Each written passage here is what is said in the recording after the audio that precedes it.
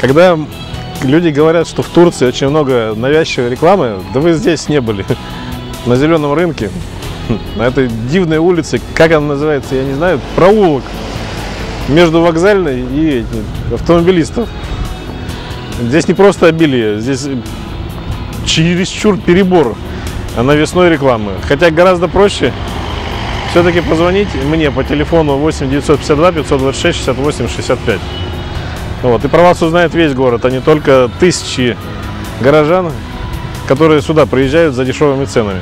Ну и что касается автостопа, я прошу прощения, но прошлый и позапрошлый год у меня был посвящен не автомобильной тематике, поэтому автостоп немножко просел.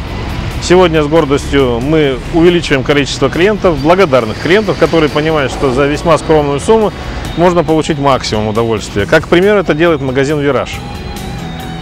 Вот здесь, «Вираж М». Старый клиент, старый добрый клиент, который иногда, конечно, тоже там задумывался кое о чем. Но сегодня и сейчас он спокойно стоит на ногах и предлагает вам еще более низкие цены. И тысячи магнитогорских бизнесменов могут это сделать. Снизить цены, привлечь покупателей и жить по китайскому принципу, продавая дешево и много.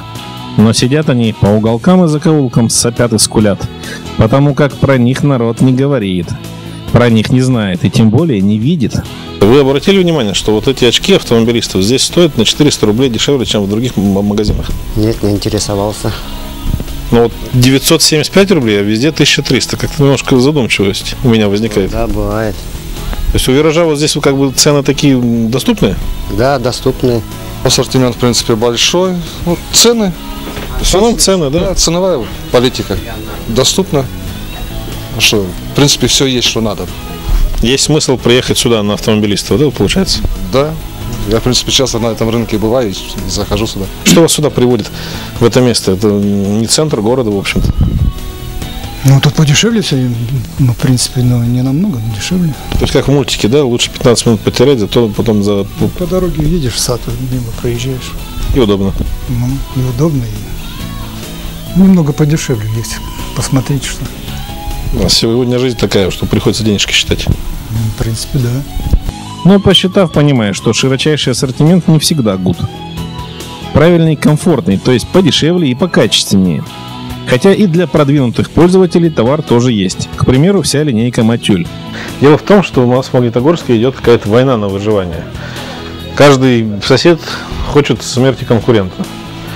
Ну, естественно, после смерти конкурента трупик сначала раздувается, а потом его закапывают. Это шутка, конечно. Вираж умирать не собирается, но расширился.